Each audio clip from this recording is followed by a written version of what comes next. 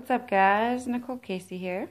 Happy New Year 2017. And I just wanted to remind everybody to spread some love. So, I was cleaning up my pantry earlier. and I found a bunch of food that I just knew wasn't going to get eaten. So, I made these little bags. Oops. these little bags that have, um, this is a bunch of Malt-O-Meal, instant Malt-O-Meal, or cream of wheat. Yeah, cream of wheat, same difference. And then in this one has some white and brown rice, instant as well. Some SpaghettiOs, and some refried beans. refried beans are really good by themselves. I like to eat them by myself quite often. Um, and then some, one little thing of tea, a little crystal light with a little Splenda already taped to it. and then two hot chocolates.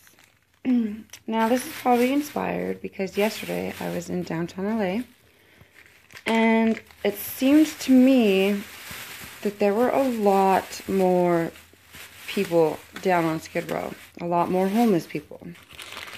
And it's just really sad, and I think it kind of takes away from the whole lackluster of downtown LA in the first place. So, needless to say, it wasn't a very fun time. I was quite sad, and I guess this just inspired it. But I have three little bags here.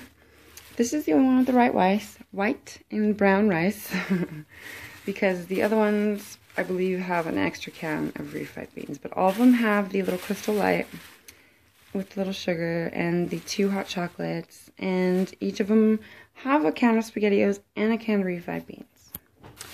So I just thought maybe if this could, I don't know, spread the love and remind other people that, hey, don't be wasteful, especially if you have food that is good but you just know you're not going to use. And don't give it, I don't know, like you can if you want to give it to your neighbor and stuff like that, but you should just give it to somebody who's in really hard time and a time of need.